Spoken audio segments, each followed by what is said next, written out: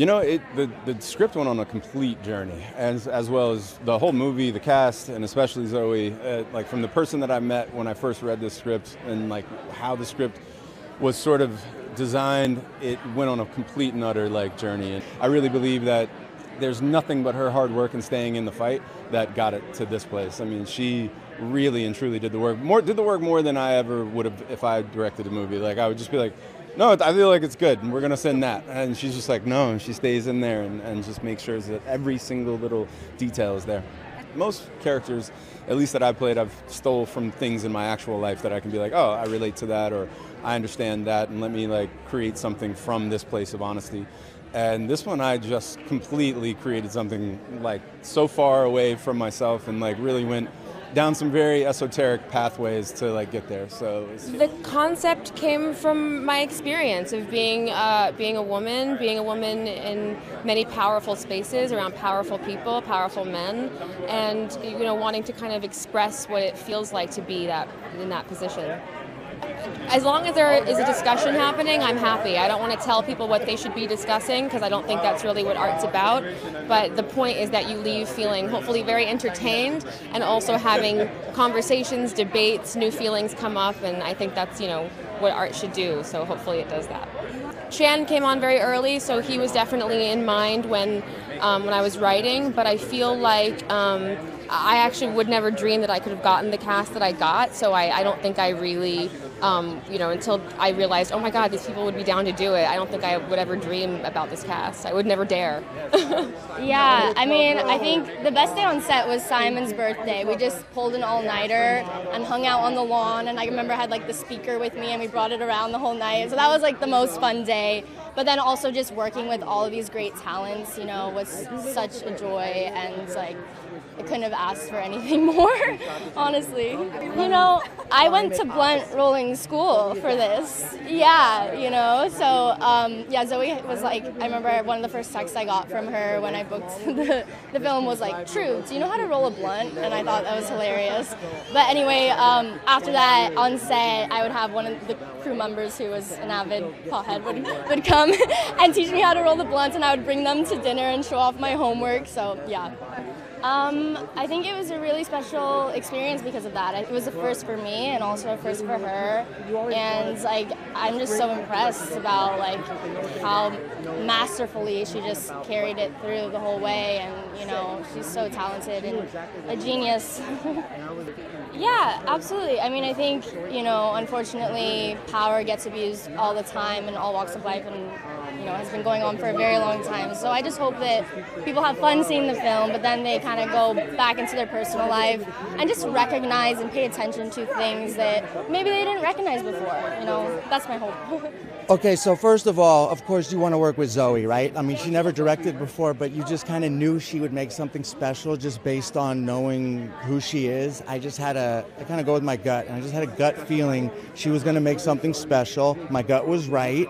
Um, I remember reading the script and thinking, wow, this is a, a lot, you know, and I want to help Zoe tell this story. And so if I could be a part of this puzzle that she's doing, great. So she basically did a Zoom with me. I didn't have to audition, she just wanted to meet me. So we did a one hour Zoom. We hung out just like we are right now. And by the end of the Zoom, she was like, okay, I like Simon. He's in. It was more of a vibe check. So I passed the vibe test. And then, because we were basically in the middle of the jungle shooting this for two months, you got to get along and know someone's flow and, you know. So I guess she was confident that I would be able to play Cody, the chef and best friend of Channing's character. Um, she just wanted to see if I was likable and nice. And I guess I passed. Yeah, I wanted to come in and lighten it up because the movie's so mysterious and suspenseful and you don't know where it's going. So if I could come lighten it up for a minute, that's my job. I mean, I guess it's just for people to go home and have a conversation about some of the issues in this movie without spoiling anything. I don't want to give anything away, but there's some heavy subject matter in this film that obviously Zoe's making a point.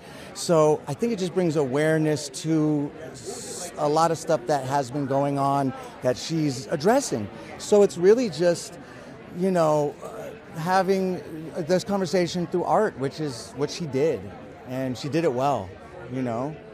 Because these are uncomfortable things to talk about.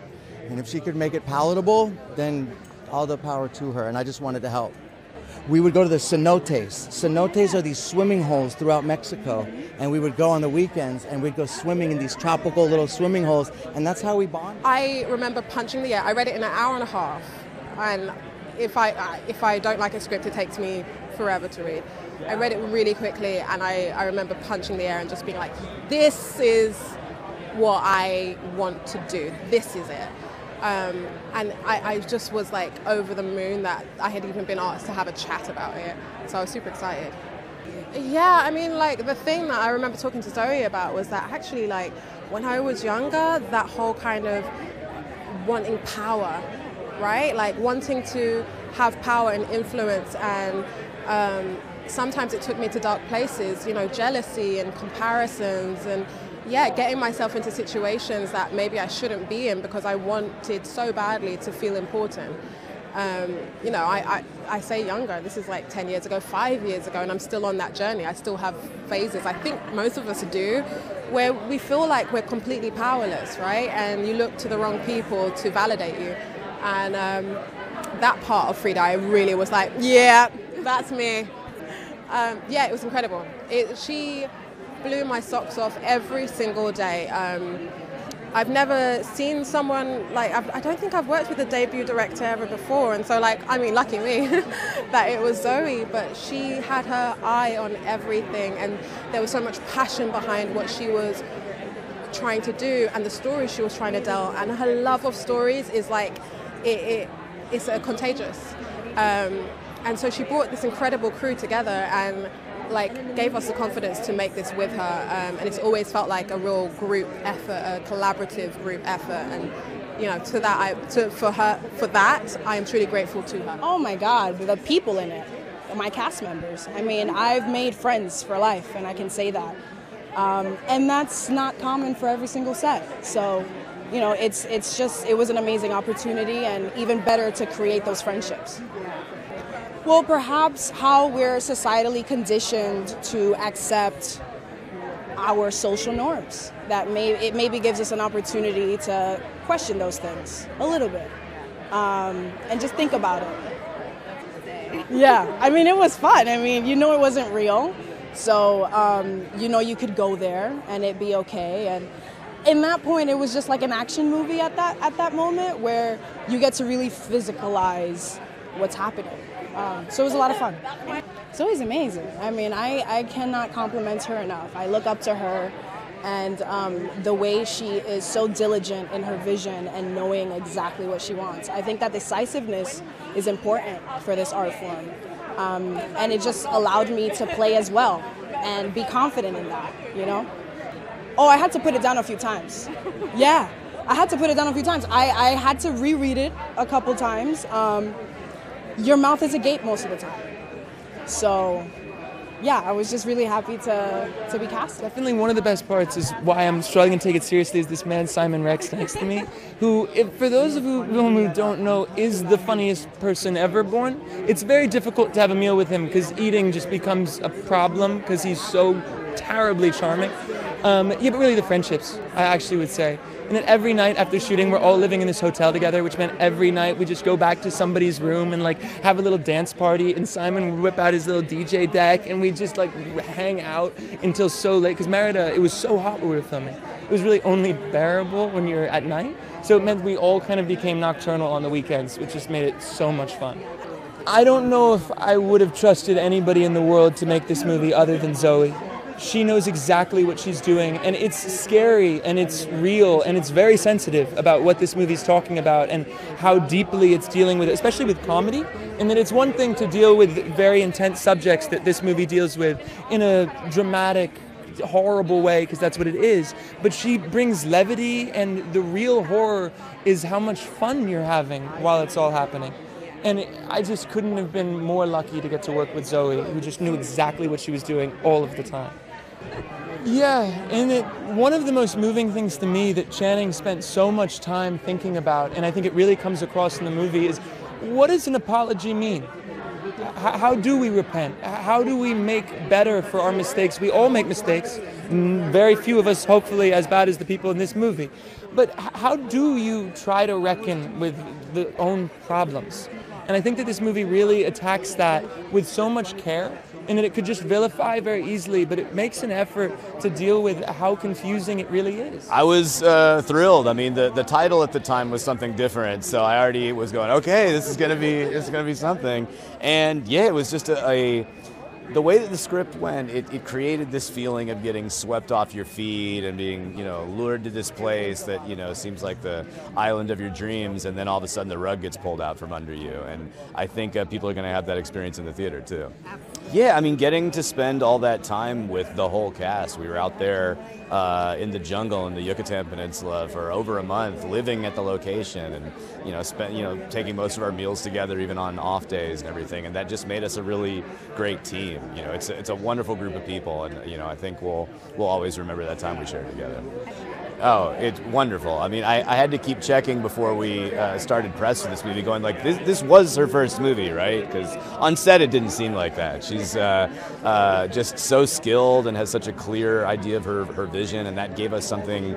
Um, it made our jobs easy because we knew what we what we needed to do and what she needed from us, and we were happy to give 110% because of that.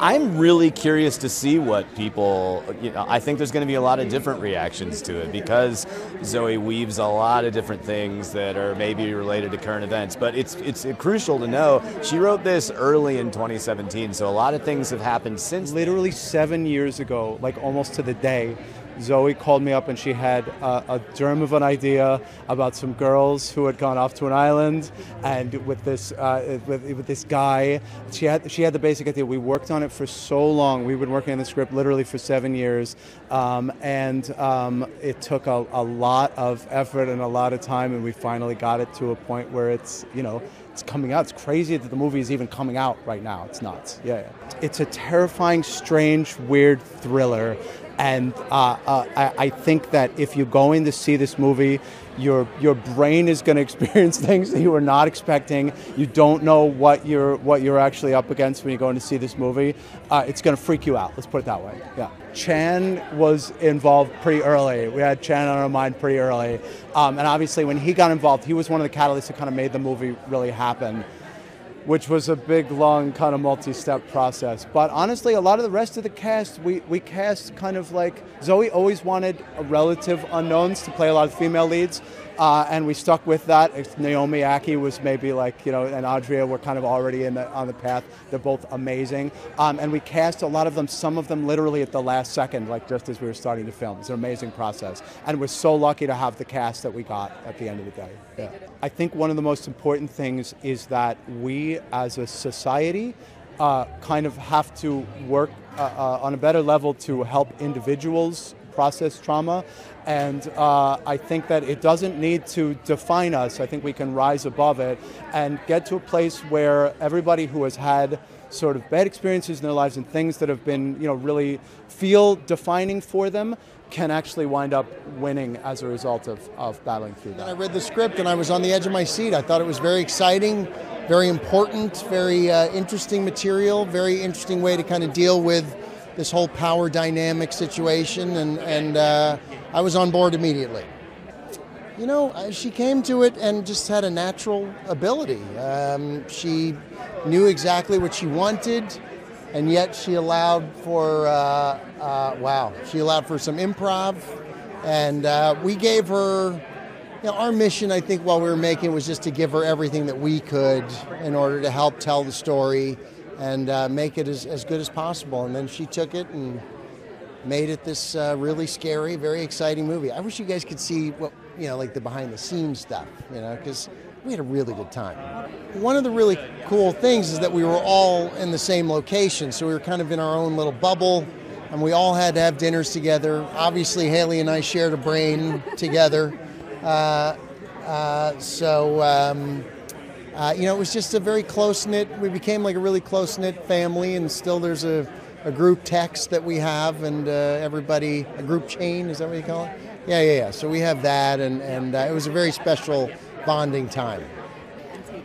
Certainly. I mean, it is a story uh, about the abuse of power and uh, how corrupting that is, and, and you know, people being isolated and in a very scary situation, and how do you survive that? Um, you know, but at the end of the day, of course, we want it to be entertaining and for people to be on the edge of their seat. And I think I think they are. I certainly was when I was watching. It sounded like a fun, scary movie. I was like, "You're going to be on an island."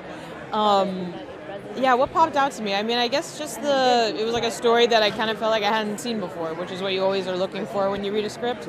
Um, it was a surprise, the ending, that I won't give away, but um, it just also had. I like movies that have a mix of tone, so it was like funny and scary, which is my favorite combo. So.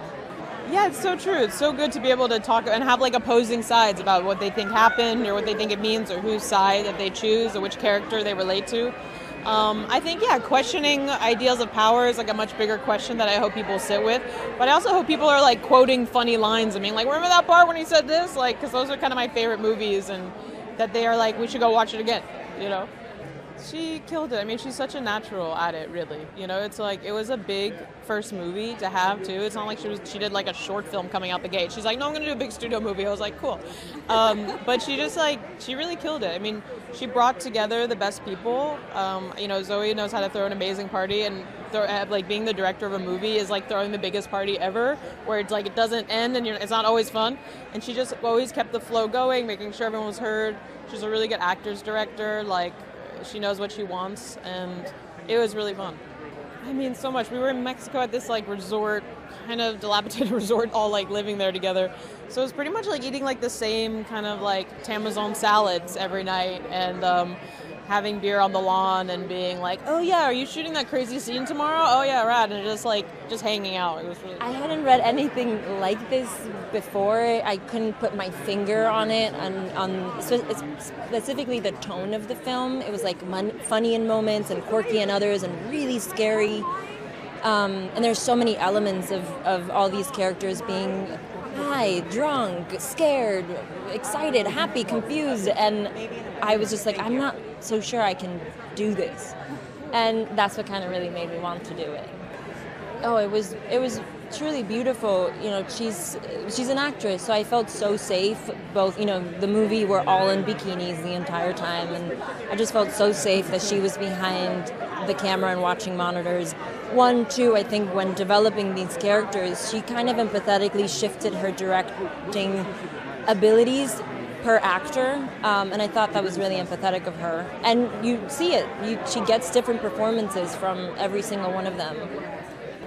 I think a little bit of everything. I just really hope that people leave and want to have a conversation, and and those are the movies that I personally like to watch. They're the movies that I am really lucky, like this one that I get to be a part of. You know, the ones that you do sit around the table and and kind of discuss things and and both heal and bring things up and have discussions. I think that's really important. It's art. Right? That's what it should be.